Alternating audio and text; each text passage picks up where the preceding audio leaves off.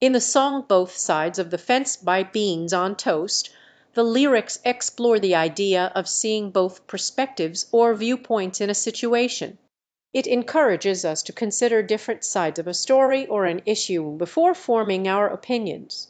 The song highlights the importance of empathy, understanding, and open mindedness in our interactions with others.